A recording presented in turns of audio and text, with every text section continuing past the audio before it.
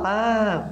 Você aqui de novo conosco e nós de novo com você no Papo de Mãe que Hora.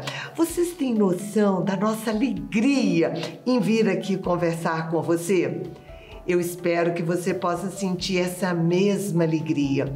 Por que, que a gente está falando de alegria?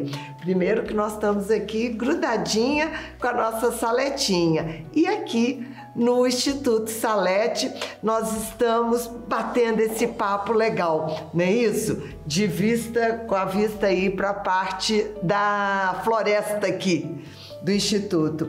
E nós escolhemos um tema hoje: a transfiguração. Olha aí na sua Bíblia, Lucas 9, versículo 28. Uns oito dias depois dessas palavras, Jesus levou consigo Pedro, João, Tiago e subiu a montanha para orar. Sempre que eu leio a palavra na Bíblia, eu gosto de ir atrás para pegar o sentido. Depois dessas palavras, que palavras? Se a gente for lá no, no versículo 23, vai dizer: Toma a sua cruz e segue Jesus. Então é importante a gente entender o contexto aqui. E aí eles foram para a montanha orar. Enquanto orava, o rosto de Jesus mudou, se transformou. A veste se tornou branca e resplandecente. E eis que dois homens conversavam com ele, Moisés e Elias. Moisés, a palavra, e Elias, o Antigo Testamento. Apareceram em glória e conversaram sobre o Êxodo. Imagina você nesse momento, né? Vivendo tudo isso que esses apóstolos estavam vivendo. Quando acabou tudo, o que, que Pedro falou? Jesus falou: hora de voltar. E Pedro diz assim: não dá para fazer três tendinhas aqui e a gente ficar? E esse, esse é o tema de hoje. A missa, né? E o, as visitas diárias ao sacrário é uma pequena tenda. A tendência da gente é entrar lá e não querer ir embora. Então, a primeira pergunta, né, entrando nesse clima de transfiguração, porque a gente também se transfigura quando está lá. A primeira pergunta é: dá vontade, Camila, de montar uma tenda quando a gente está no sacrário? Dá. Eu acho que isso aí tem, são momentos, né? A vida da gente é muito dinâmica. É, eu vou dar meu exemplo, que eu estou aqui na caminhada. Eu muitas vezes, humanamente, eu, às vezes eu me afasto do sacrário. E, e em outras tantas eu sou conduzida ao sacrário por amor e, e algumas pela dor. Então, tem época, né, que eu estou muito mais próxima de, de, Deus, seja pela dor, seja pelo amor. E tenho vontade de montar uma tenda lá. E já montei tenda, já fiquei um tempo lá. Já montei, não dá vontade de sair, porque assim, às vezes, mesmo em situações adversas, é, uma, é um, são momentos que a gente sente um amor tão grande do Pai, mesmo sem ouvir respostas. Mas a sensação é que quando a gente sai dali, a gente está no mundo, a gente está ali, é como se a gente tivesse protegido. É lógico que a gente não tem a memória intrauterina, né? De dentro do, do útero da mãe. Mas quando eu fecho meus olhos, eu vejo aquilo, eu vejo. É como se eu tivesse Deus sendo minha mãe, eu tivesse dentro do útero de Deus. É uma linguagem figurada, tá, Sim, gente? Estou falando no sentido de proteção. E eu acho, tia, que às vezes a gente precisa aceitar montar essa tenda. É a gente também abrir mão da nossa autossuficiência. Porque eu tô com milhões de coisas para fazer lá fora: trabalho, filho, conta, vida, tudo. Só que eu tô sem forças. Então, às vezes, a gente precisa se dar a chance de montar essa tenda, mesmo que seja um pouco, porque a gente precisa de recarregar essa energia espiritual. Mas a palavra, filha, ela diz justamente isso como Jesus anuncia a crucificação, anuncia o tomar a cruz, ele leva os discípulos justamente para esse refrigério, porque nós precisamos do refrigério. Mas tem pessoas que montam a tenda na igreja, tem pessoas que não saem de dentro da igreja, tem pessoas que não saem do quarto de oração. Mas aí Existe é a dúvida da tenda né? A, a, igreja, é, o sacrário é um refrigério, não é uma muleta. É isso aí. Não é um esconderijo. Né? Eu não estou jogando a lona e me escondendo. Ele é, um, ele é um refrigério. É onde eu me recarrego, onde eu me sinto acolhida.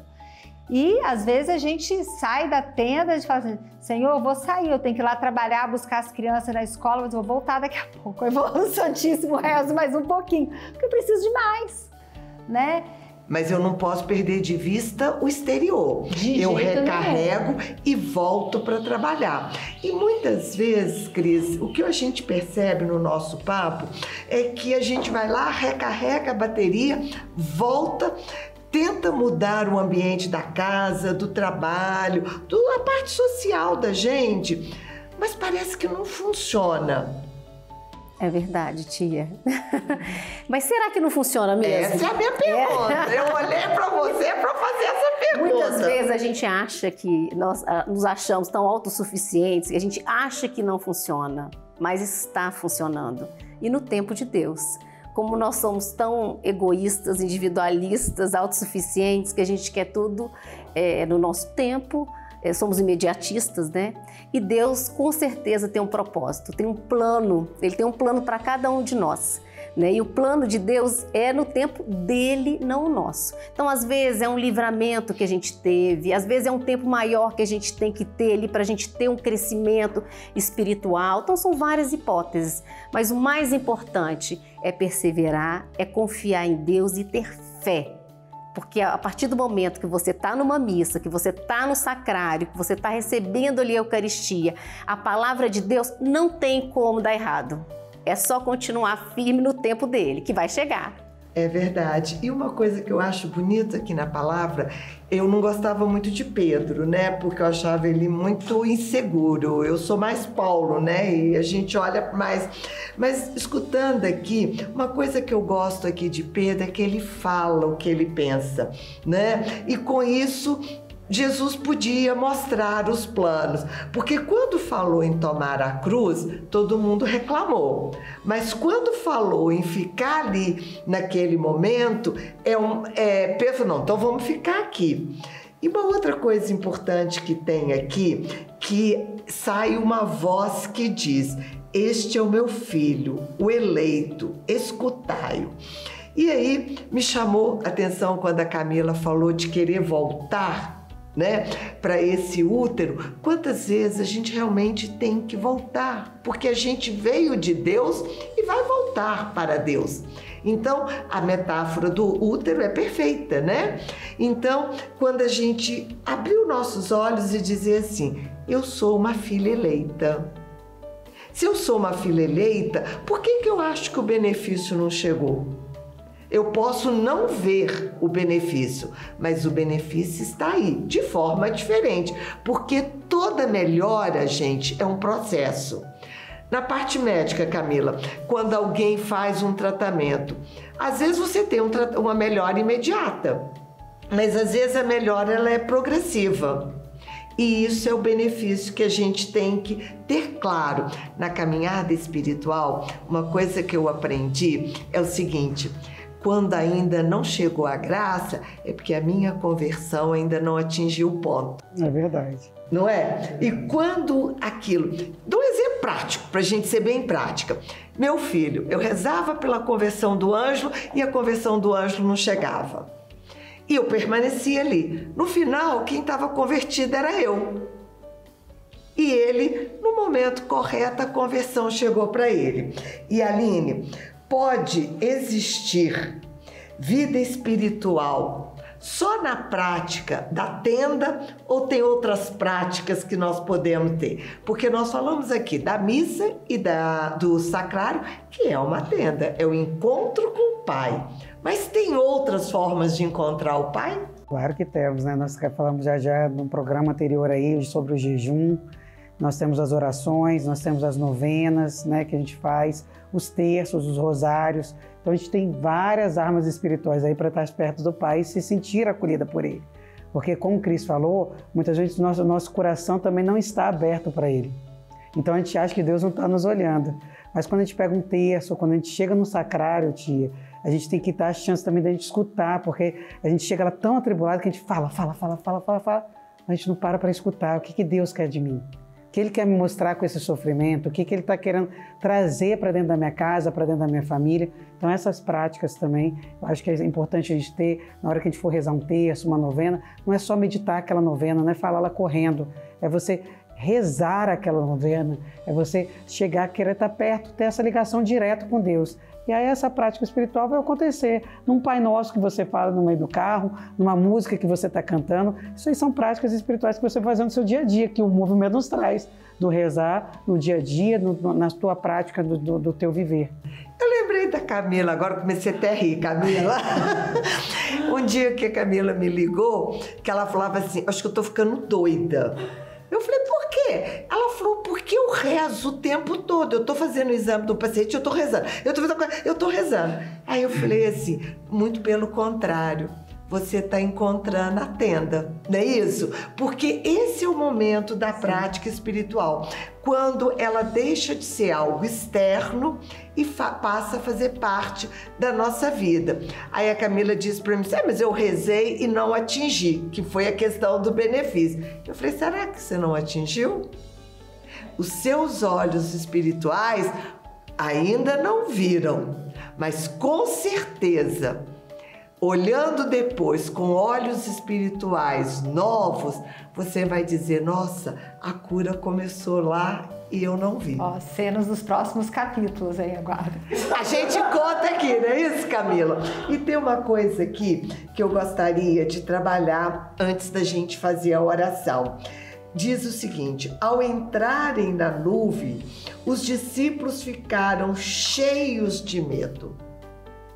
E aí eu voltei a tudo que nós falamos, porque a gente tem buscado a prática da missa diária, a gente tem, a gente tem buscado a prática da é, adoração, mas com a pandemia, a gente observou que as mães foram perdendo essa prática. Então, esse programa, esse assunto é para trazer de volta. Sabe o que nós mais temos ouvido? O medo do coração das mães, a falta de esperança, as mães dizerem que estão cansadas. E hoje nós queremos te convidar na oração a subir o Monte Tabor Fecha seus olhos e coloca mesmo no teu coração. Imagine essa nuvem e o medo no seu coração. Ou a falta de esperança, ou alegria também, porque o meu hoje está cheio de alegria, apesar de às vezes ter medo.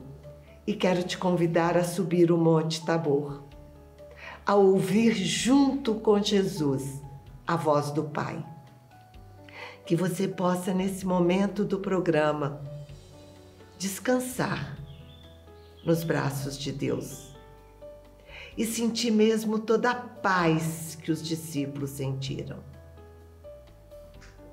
toda a graça de Deus, todo esse momento que está invadindo o meu coração. Vai invadindo o seu coração com essa alegria. Vai tirando todo o medo, toda a angústia Vai vivendo esse momento com Jesus. Abra seus olhos e volte para o mundo real. E vamos viver o nosso vida exterior. Vamos batalhar pela nossa família. Até a próxima. Tchau. Tchau.